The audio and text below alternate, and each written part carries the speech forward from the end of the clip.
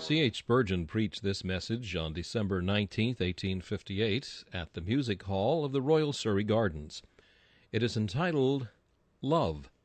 The text is found in 1 John chapter 4 and verse 19. We love him because he first loved us. During the last two Sabbath days I have been preaching the gospel to the unconverted.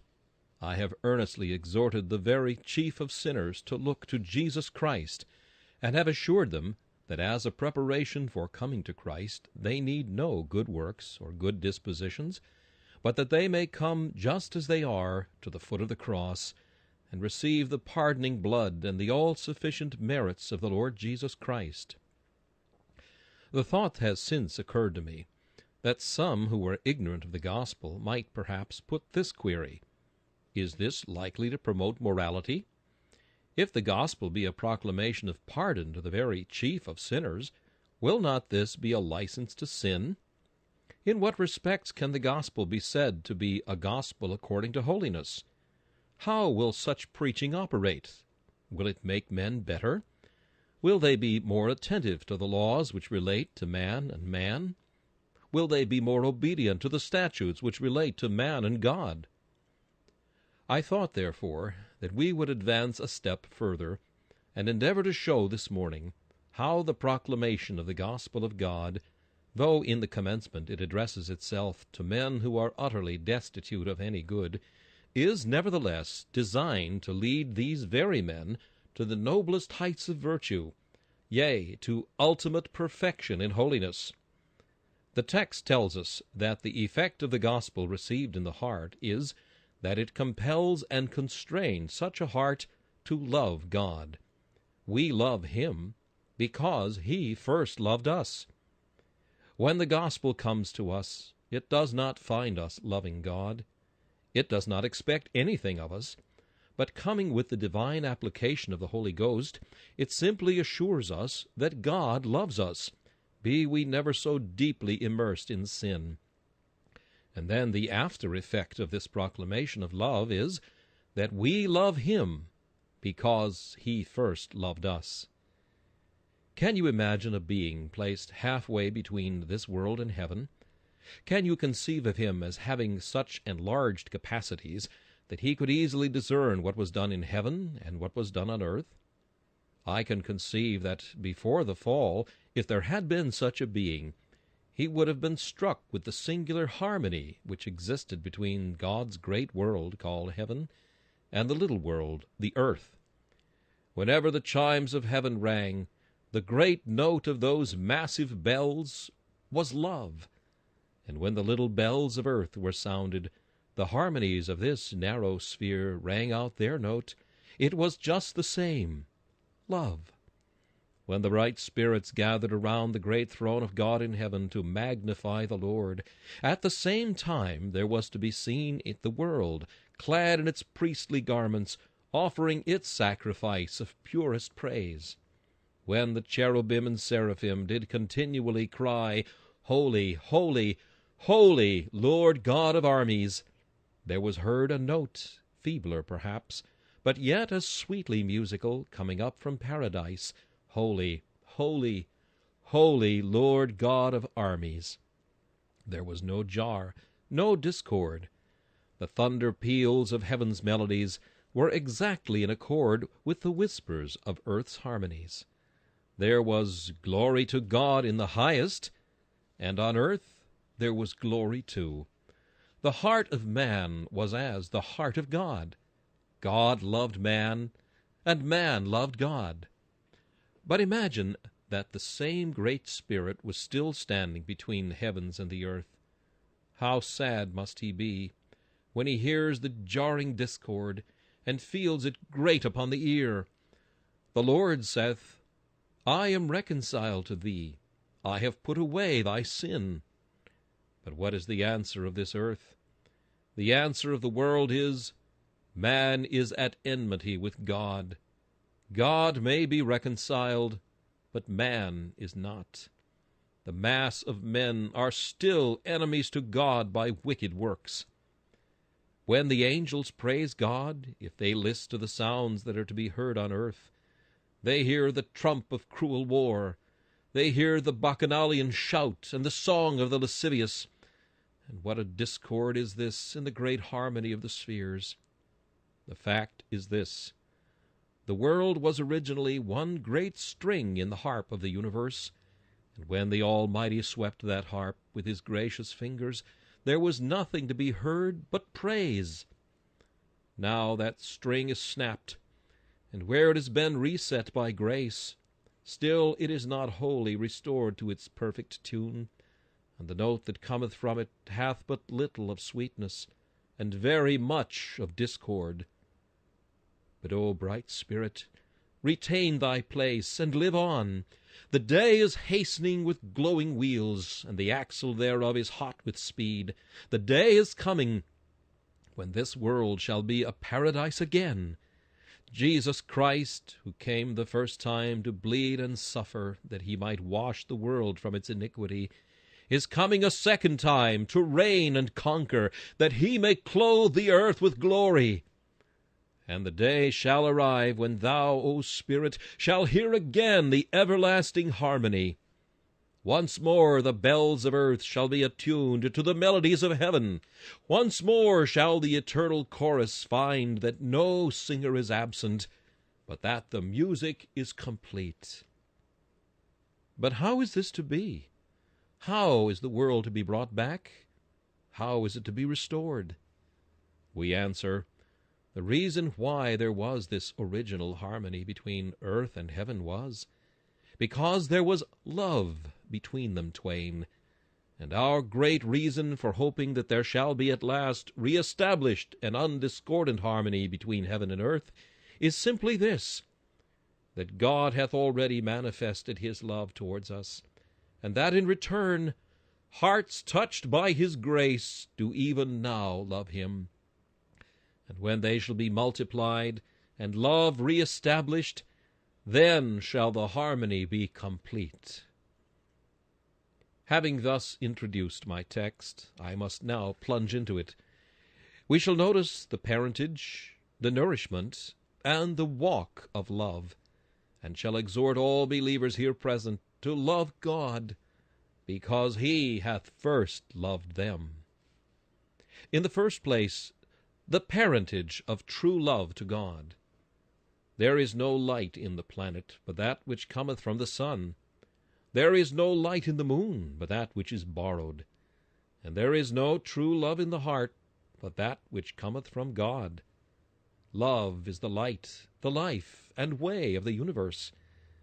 Now God is both life and light and way, and to crown all, God is love.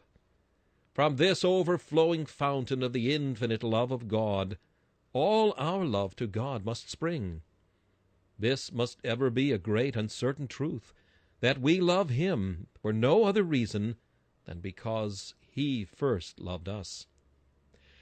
There are some that think that God might be loved by simple contemplation of His works. We do not believe it. We have heard a great deal about admiring philosophers, and we have felt that admiration was more than possible when studying the works of God. We have heard a great deal about wondering discoverers, and we have acknowledged that the mind must be base indeed which does not wonder when it looks upon the works of God. And we have sometimes heard about a love to God which has been engendered by the beauties of scenery, but we have never believed in its existence. We do believe that where love is already born in the heart of man, all the wonders of God's providence and creation may excite that love again, it being there already. But we do not and we cannot believe, because we never saw such an instance, that the mere contemplation of God's works could ever raise any man to the height of love. In fact, the great problem has been tried, and it has been solved in the negative. What saith the poet? What though the spicy breezes blow soft o'er Java's isle, where every prospect pleases, and only man is vile? Where God is most resplendent in his works, and most lavish in his gifts, there man has been the vilest, and God is the most forgotten. Others have taught, if not exactly in doctrine, yet their doctrine necessarily leads to it, that human nature may of itself attain unto love to God. Our simple reply is, we have never met with such an instance. We have curiously questioned the people of God, and we believe that others have questioned them in every age, but we have never had but one answer to this question Why hast thou loved God? The only answer has been, Because he first loved me. I have heard men preach about free will, but I have never yet heard of a Christian who exalted free will in his own experience. I have heard men say that men of their own free will may turn to God, believe, repent, and love. But I have heard the same persons, when talking of their own experience, say that they did not so turn to God, but that Jesus sought them when they were strangers, wandering from the fold of God.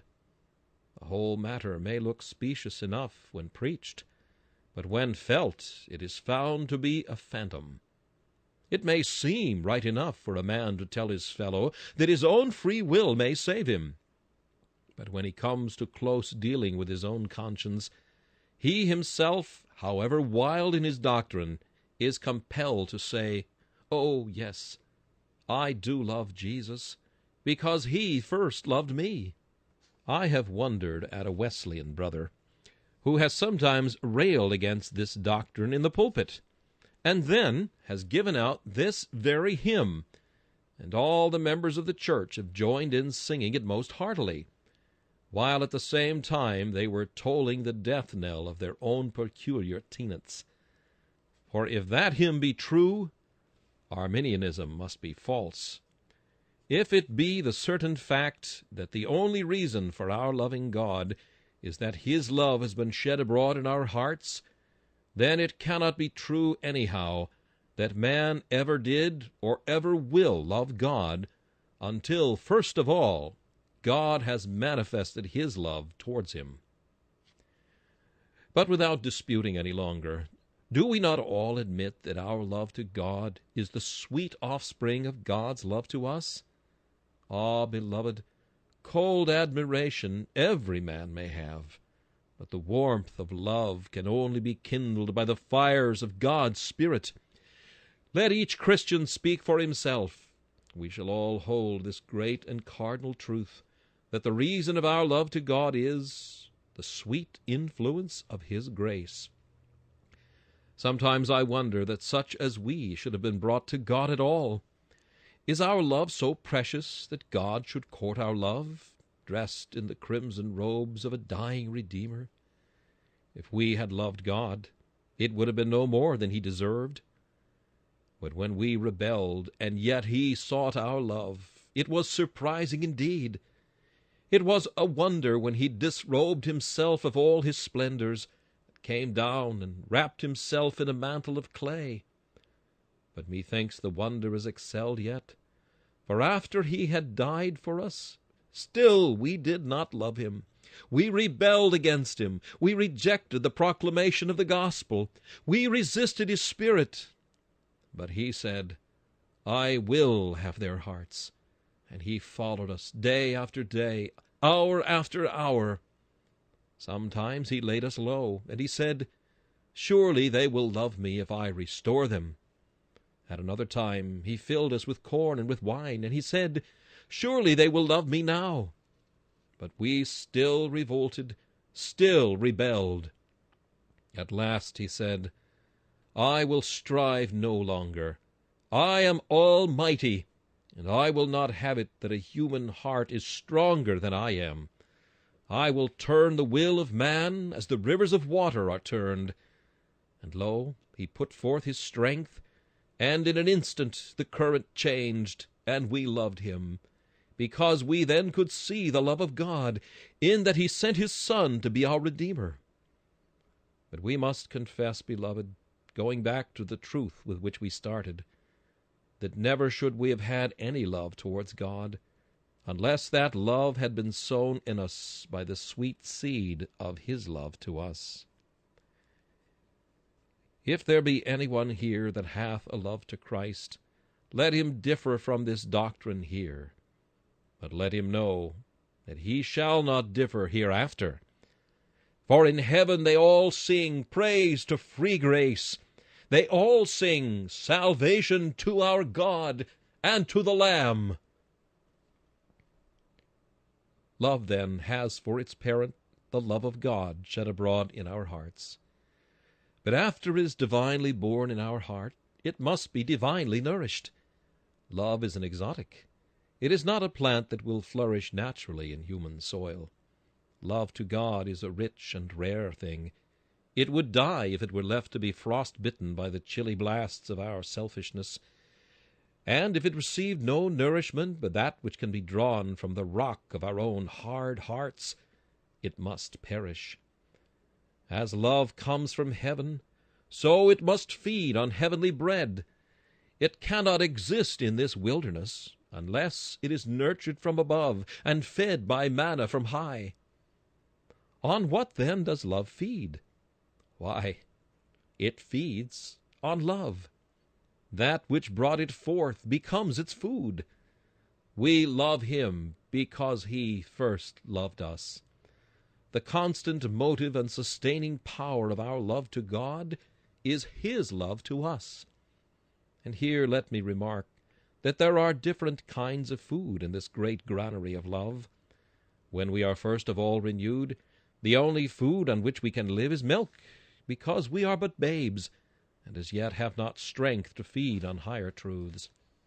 The first thing, then, that our love feeds upon, when it is but an infant, is a sense of favors received. Ask a young Christian why he loves Christ, and he will tell you, I love Christ because he has bought me with his blood. Why do you love God the Father? I love God the Father because he gave his Son for me. And why do you love God the Spirit? I love him because he has renewed my heart. That is to say, we love God for what he has given to us. Our first love feeds just on the simple food of a grateful recollection of mercies received. And mark, however much we grow in grace, this will always constitute a great part of the food of our love. But when the Christian grows older and has more grace, he loves Christ for another reason. He loves Christ because he feels Christ deserves to be loved. I trust I can say I have in my heart now a love to God altogether apart from the matter of my personal salvation. I feel that even now I must love him, for his character is so unutterably lovely. His love to other people seems as if it would compel me to love him.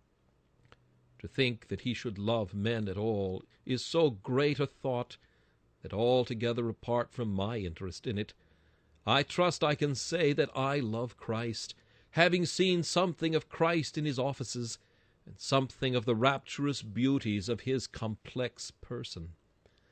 I feel as if I could come to his feet and say, Sweet Lord, I love thee first because of thy gifts to me, but now I love thee because thou art altogether lovely. Thou hast entranced my soul with the look of thine eyes. Thou hast enraptured my spirit with the glories of thy person. And now I love thee, not merely because I have eaten of thy bread, and thou hast supplied my wants, but I love thee for what thou art. But mark, at the same time, we must always mingle with this the old motive. We must still feel that we begin with that first stepping stone, loving Christ because of his mercies, and that although we have climbed higher and have come to love him with a love that is superior to that in motive, yet still we carry the old motive with us. We love him because of his kindness towards us. Why, I do not think it is possible for a man filled with the love of Christ in his heart and girded by divine grace to soar to such a degree of love to Christ that if you could hear him speak, you would sit and wonder as though an angel spoke to you. Did you ever read the divine letters of Rutherford? I do think if there remains among men a remnant of the ancient inspiration that guided the pen of Solomon, it rested upon the head of Rutherford. If you read the sonnets of sweet George Herbert, oh, how sweetly does he sing of his master! If there be any of the heavenly harps left by accident on earth, George Herbert found one, and he touched the living strings with such divine excellency of judgment that he made every string find out his master. These men did not merely love Christ because of what he had done for them, but you will find in their sonnets and in their letters that their motive of love was that he had communed with them. He had showed them his hands and his side. They had walked with him in the villages. They had lain with him on the beds of spices. They had entered into the mystic circle of communion. They felt that they loved Christ because he was all over glorious, and was so divinely fair that if all nations could behold him, sure they must be constrained to love him too. This, then, is the food of love. But when love grows rich, and it does sometimes, the most loving heart grows cold towards Christ. Do you know that the only food that ever suits sick love is the food on which it fed at first? I have heard say by the physicians that if a man be sick, there is no place so well adapted for him as the place where he was born. And if love grow sick and cold, there is no place so fit for it to go as the place where it was born, namely, the love of God in Christ Jesus our Lord. Where was love born? Was she born in the midst of romantic scenery? Was she nursed with wondrous contemplations upon the lap of beauty? Ah, no. Was she born on the steps of Sinai, when God came from Sinai, the Holy One from Mount Paran, and melted the mountains with the touch of his feet, and made the rocks flow down like wax before his terrible presence? Ah, no. Was love born on Tabor when the Saviour was transfigured, and his garment became whiter than wool, whiter than any fuller could make it? Ah, no.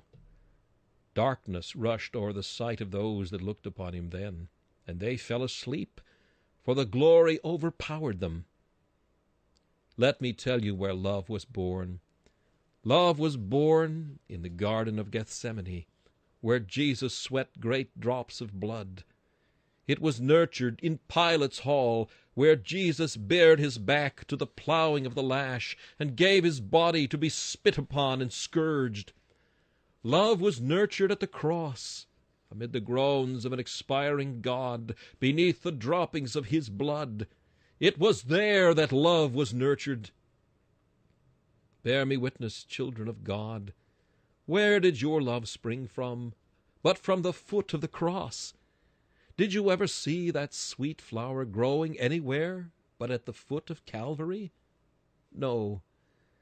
It was when ye saw love divine, all love's excelling, outdoing its own self. It was when you saw love in bondage to itself, dying by its own stroke, laying down its life, though it had power to retain it and to take it up again. It was there your love was born. And if you wish your love, when it is sick, to be recovered, take it to some of those sweet places. Make it sit in the shade of the olive trees. Make it stand on the pavement and gaze while the blood is still gushing down. Take it to the cross and bid it look and see afresh the bleeding Lamb. And surely this shall make thy love spring from a dwarf into a giant, and this shall fan it from a spark into a flame. And then, when thy love is thus recruited, let me bid thee give thy love full exercise, for it shall grow thereby. You say, Where shall I exercise the contemplation of my love to make it grow? O sacred dove of love, stretch thy wings and play the eagle now.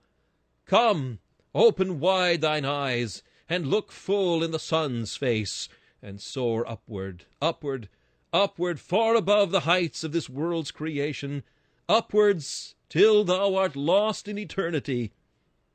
Remember that God loved thee from before the foundation of the world.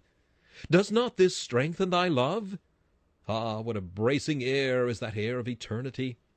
When I fly into it for a moment, and think of the great doctrine of election, of that vast unmeasured love which from the days of old did all the chosen seed embrace like sheep within the fold, it makes the tears run down one's cheek to think that we should have an interest in that decree and counsel of the Almighty Three, when every one that should be blood bought had his name inscribed in God's eternal book. Come, soul, I bid thee now exercise thy wings a little, and see if this does not make thee love God.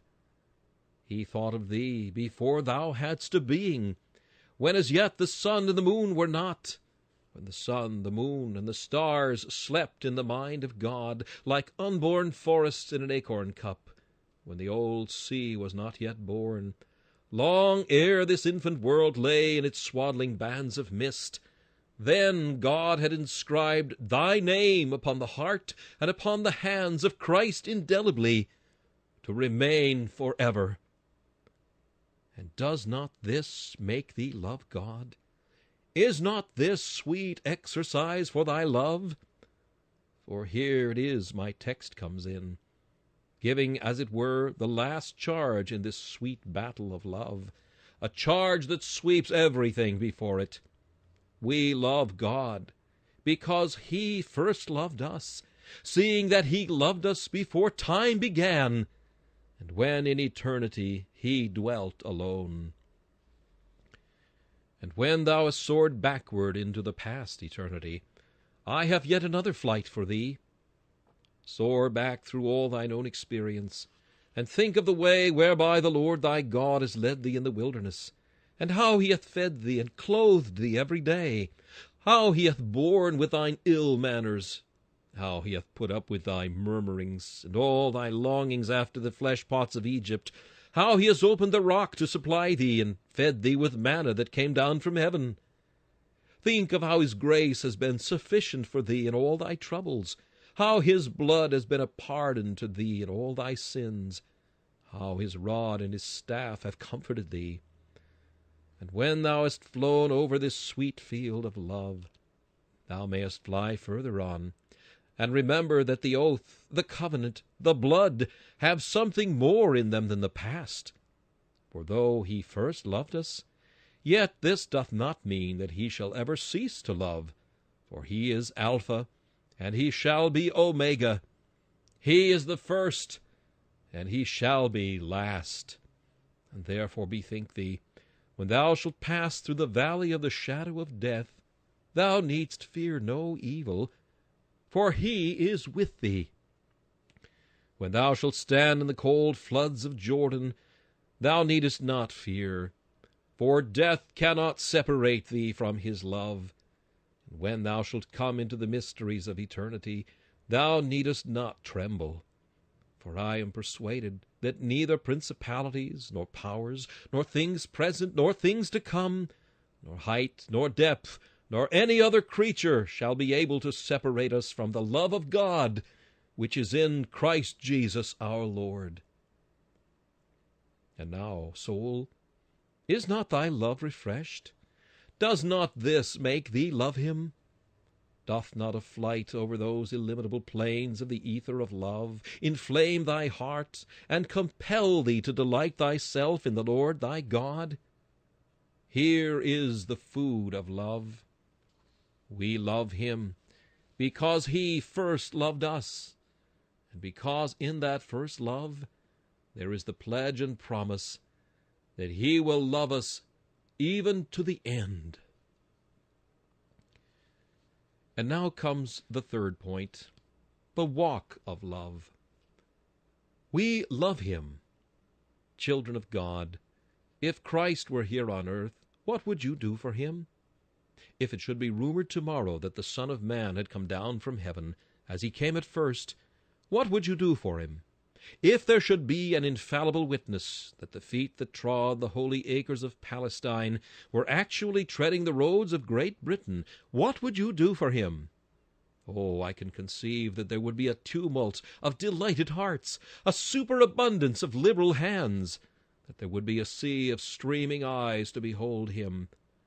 Do for him, says one. Do for him. Did he hunger, I would give him meat, though it were my last crust. Did he thirst, I would give him drink, though my own lips were parched with fire. Was he naked, I would strip myself and shiver in the cold to clothe him. Do for him, I scarcely know what I should do. I would hurry away, and I would cast myself at his dear feet, and I would beseech him, if it would but honor him, that he would tread upon me and crush me in the dust, if he would but be raised one inch the higher thereby. Did he want a soldier, I would enlist in his army. Did he need that someone should die, I would give my body to be burned, if he stood by to see the sacrifice and to cheer me in the flames. O ye daughters of Jerusalem, would ye not go forth to meet him? Would ye not rejoice with the tabret and in the dance? Dance then ye might, like Miriam by the side of Egypt's waters, red with blood. We, the sons of men, would dance like David before the ark, exulting for joy, if Christ were come. Ah, we think we love him so much that we should do all that. But there is a grave question about the truth of this matter after all. Do you not know that Christ's wife and family are here? And if you love him, would it not follow as a natural inference that you would love his bride and his offspring? Ah, says one, Christ has no bride on earth. Has he not? Has he not espoused unto himself his church? Is not his church the mother of the faithful, his own chosen wife? And did he not give his blood to be her dower? And has he not declared that he will never be divorced from her, for he hates to put away, and that he will consummate the marriage in the last great day, when he shall come to reign with his people upon the earth? And has he no children here? The daughters of Jerusalem and the sons of Zion, who hath begotten me these? Are not they the offspring of the everlasting Father, the Prince of Peace, the child born, the son given? Surely they are. And if we love Christ as we think we do, as we pretend we do, we shall love his church and people. And do you love his church? Perhaps you love the part to which you belong. You love the hand. It may be a hand that is garnished with many a brilliant ring of noble ceremonies, and you love that. You may belong to some poor, poverty stricken denomination. It may be the foot, and you love the foot. But you speak contemptuously of the hand, because it is garnished with greater honors, whilst perhaps ye of the hand are speaking lightly of those who are of the foot. Brethren, it is a common thing with us all to love only a part of Christ's body, and not to love the whole. But if we love him, we should love all his people. When we are on our knees in prayer, I fear that when we are praying for the church, we do not mean all that we say. We are praying for our church, our section of it. Now he that loves Christ, if he be a Baptist, he loves the doctrine of baptism, because he knows it to be scriptural. But at the same time, wherever he sees the grace of God to be in any man's heart, he loves him because he is a part of the living church, and he does not withhold his heart, his hand, or his house from him because he happens to differ on some one point. I pray that the church in these days may have a more loving spirit towards herself. We ought to delight in the advance of every denomination. Is the Church of England rousing from its sleep? Is she springing like a phoenix from her ashes? God be with her, God bless her. Is another denomination leading the van and seeking by its ministers to entice the wanderer into the house of God? God be with it. Is the primitive Methodist laboring in the hedge and ditch, toiling for his master? God help him! Is the Calvinist seeking to uphold Christ crucified in all his splendors? God be with him! And does another man with far less knowledge preach much error, but still hold that by grace are ye saved through faith? Then God bless him, and may success be with him evermore. If ye loved Christ better, ye would love all Christ's church and all Christ's people. Do you not know that Christ hath now a mouth on earth, and hath left a hand on earth, and a foot on earth still? And that if ye would prove your love to him, ye would not think that ye cannot feed him. Ye need not imagine that ye cannot feel his hand, or that ye cannot wash his feet. Ye can do all this today. He has left his poor and afflicted people, and their mouths are hungry, for they need bread, and their tongue is parched, for they need water. You meet them. They come to you. They are destitute and afflicted. Do ye refuse them? Do ye know who it was ye denied at your door? Inasmuch as ye did it not unto one of the least of these my brethren, ye did it not to me. In rejecting the petition of the poor, when you might have helped them, you rejected Christ. Christ was virtually the man to whom you parsimoniously refused the needed alms, and your Savior was thus rejected at the door of one for whom he himself had died. Do you want to feed Christ? Open your eyes then, and you shall see him everywhere. In our back streets, in our lanes, in our alleys, in all our churches, connected with every branch of Christ's people, ye shall find the poor and the afflicted. If ye want to feed Christ, feed them. But ye say that ye are willing to wash Christ's feet. Ah, well, and ye may do it. Has he no fallen children? Are there no brethren who have sinned, and who are thus defiled? If Christ's feet were foul, ye say ye would wash them. Then, if a Christian man has stepped aside, seek to restore him, and lead him once more in the way of righteousness. Do you want to fill Christ's hands with your liberality? His church is the treasure house of his alms, and the hand of his church is outstretched for help, for she always needs it. She has a work to do which must be accomplished. She is straitened because your help is withheld from her. Pour your gifts into her treasury, for all that ye can give unto her is given to the Lord Jesus Christ. Finally, to stimulate your love, let me remind you that Christ Jesus had two trials of his love, which he endured with firmness, but which are often too much for us. When Christ was high and glorious, I marvel that he loved us. I have known many a man who loved his friend when he was in the same low estate. But he has risen, and he has disdained to know the man at whose table he had fed. A lofty elevation tries the love which we bear to those who are inferior to us in rank. Now Christ Jesus, the Lord of heaven and the King of angels, condescended to notice us before he came on earth, and always called us brethren.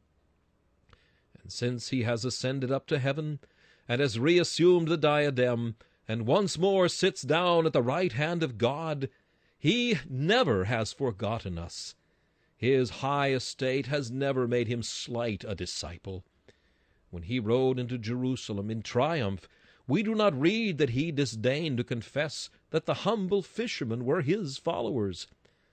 And now, though he reigns exalted high, his love is still as great.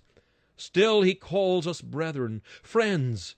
Still he recognizes the kinship of the one blood.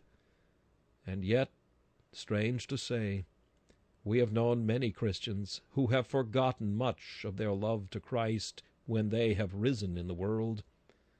Ah, said a woman, who had been wont to do much for Christ in poverty, and who had had a great sum left her, I cannot do as much as I used to do.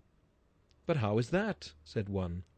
Said she, When I had a shilling purse, I had a guinea heart, and now I have a guinea purse, I have only a shilling heart. It is a sad temptation to some men to get rich. They were content to go to the meeting house and mix with the ignoble congregation while they had but little. They have grown rich. There is a Turkish carpet in the drawing room. They have arrangements now too splendid to permit them to invite the poor of the flock as once they did, and Christ Jesus is not so fashionable as to allow them to introduce any religious topic when they meet with their new friends. Besides this, they say they are now obliged to pay this visit and that visit, and they must spend so much time upon attire, and in maintaining their station and respectability, they cannot find time to pray as they did. The house of God has to be neglected for the party, and Christ has less of their heart than ever he had. Is this thy kindness to thy friend? And hast thou risen so high that thou art ashamed of Christ? And art thou grown so rich that Christ in his poverty is despised? Alas, poor wealth! Alas, base wealth! Alas, vile wealth! 'Twas well for thee if it should all be swept away, if a descent to poverty should be a restoration to the ardency of thine affection. But once again what a trial of love was that, when Christ began to suffer for us! There are many men, I doubt not, who are true believers, and love their Saviour, who would tremble to come to the test of suffering. Imagine yourself, my brother, taken today into some dark dungeon of the Inquisition. Conceive that all the horrors of the dark ages are revived, you are taken down a long dark staircase, and hurried you know not whither. At last you come to a place far deep in the bowels of the earth, and round about you see hanging on the walls the pincers, the instruments of torture of all kinds and shapes. There are two inquisitors there who say to you, Are you prepared to renounce your heretical faith, and to return to the bosom of the Church? I conceive, my brethren and sisters, that you would have the strength of mind and grace enough to say, I am not prepared to deny my Saviour. But when the pincers began to tear the flesh, when the hot coals began to scorch, when the rack began to dislocate the bones, when all the instruments of torture were wreaking their hellish vengeance, unless the supernatural hand of God should be mightily upon you, I am sure that in your weakness you would deny your master, and in the hour of your peril would forsake the Lord that bought you. True, the love of Christ in the heart, when sustained by his grace, is strong enough to bear us through. But I am afraid that with many of us here present, if we had no more love than we have now, we should come out from the Inquisition miserable apostates from the faith. But now, remember Christ. He was exposed to tortures which were really more tremendous far. There is no engine of Romish cruelty that can equal that dreadful torture, which forced a sweat of blood from every pore. Christ was scourged, and he was crucified. But there were other woes, unseen by us, which were the soul of his agonies. Now, if Christ in the hour of sore trial had said, I disown my disciples, I will not die, he might have come down from the cross, and who could accuse him of evil? He owed us nothing, we could do nothing for him. Poor worms would be all that he would disown. But our Master, even when the blood sweat covered him as with a mantle of gore, never thought of disowning us. Never! My Father, said he once, if it be possible, let this cup pass from me. But there was always the if it be possible. If it be possible to save without it, let the cup pass. But if not, thy will be done. You never hear him say in Pilate's hall one word that would let you imagine that he was sorry he'd undertaken so costly a sacrifice for us. And when his hands are pierced, and when he is parched with fever, and his tongue is dried up like a potsherd, and his whole body is dissolved into the dust of death, you never hear a groan or a shriek that looks like going back. It is the cry of one determined to go on, though he knows he must die on his onward march. It was love that could not be stayed by death, but overcame all the horrors of the grave. Now, what say we to this? We who live in these gentler times, are we about to give up our Master when we are tried and tempted for him? Young man in the workshop, it is your lot to be jeered at because you are a follower of the Savior. And will you turn back from Christ because of a jeer? Young woman, you are laughed at because you profess the religion of Christ. Shall a laugh dissolve the link of love that knits your heart to Him, when all the roar of hell could not divert His love from you? And you who are suffering because you maintain a religious principle, are you cast out from men? Will you not bear that the house should be stripped, that ye shall eat the bread of poverty, rather than dishonor such a Lord? Will you not go forth from this place by the help of God's Spirit, vowing and declaring that in life come poverty, come wealth, in death come pain, or come what may, you are and ever must be the Lord's for this is written on your hearts. We love him because he first loved us. This message, Love, was preached by Charles Haddon Spurgeon on December 19, 1858. This is Charles Kelsch inviting you to join me again for another message from the Prince of Preachers